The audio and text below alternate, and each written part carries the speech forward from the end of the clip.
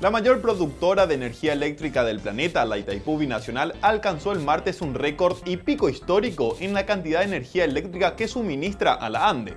La Itaipú llegó al punto de suministro de electricidad más alto en su historia para la estatal paraguaya que se encarga de la distribución del servicio.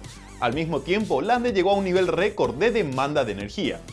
La Itaipú es líder mundial en la producción de energía limpia y renovable, habiendo producido más de 103 millones de megavatios por hora, siendo un nuevo récord mundial en generación anual. Para La Nación, soy Santiago Sabatiero.